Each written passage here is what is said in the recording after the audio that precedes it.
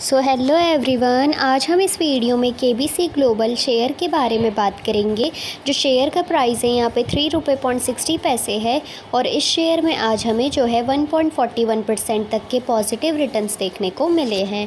One month में share ने हमें sixty seven point forty four percent तक के जो है पॉजिटिव रिटर्न्स दिए हैं। आगे अगर हम मैक्स में ऑल टाइम की यहाँ पे बात करते हैं तो ऑल टाइम में शेयर में हमें 78.38 परसेंट तक के नेगेटिव रिटर्न्स देखने को मिले हैं। आगे हम इस शेयर के मार्केट कैप फेस वैल्यू और बीटा की बात करते हैं तो जो शेयर की मार्केट कैप है यहाँ पे वो 236 करोड़ रुपए है। और फेस वैल्यू यहाँ पे वन है। और बात करते हैं बीटा की तो वो ज़ीरो पॉइंट नाइन्टी फोर है। यानी इस शेयर की जो मार्केट कैप फेस वैल्यू और बीटा है, तीनों ही यहाँ पे पॉजिटिव है। आगे इस शेयर के रेजिस्टेंस और सपोर्ट लेवल के बारे में बात करते हैं। तो यहाँ पे जो शेयर का प्राइस लेवल है, वो तो अपने नियरेस्ट रेजिस्टेंस लेवल के पास पहुँच गया है।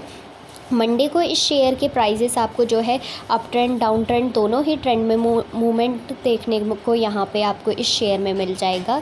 तो वैसे तो इस शेयर को शॉर्ट टर्म में होल्ड करने में रिस्क है, लेकिन अगर आप इस शेयर को चाहे तो लॉन्ग टर्म के प्रस्पेक्टिव से अपने ओन रिस्क में होल्ड करने की यहाँ पर सोच सकते हैं।